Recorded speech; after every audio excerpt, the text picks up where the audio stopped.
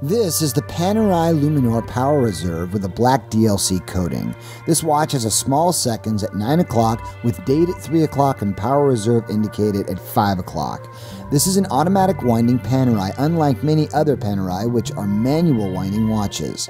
The case has the Panerai signature patented crown guard. The crystal has the anti reflector coating with the magnifier set inside the sapphire crystal. The dial glows fairly bright and looks very beautiful. The case is a standard Panerai case designed water resistant. As you may know, it was an Italian company and in 97 they did move to Switzerland. The band is a genuine crocodile leather strap with a nicely signed dual bottom deployment Panerai clasp. The black DLC coating gives the watch a really nice feel. It's absolutely one of the most beautiful watches. It's a very big and bold watch.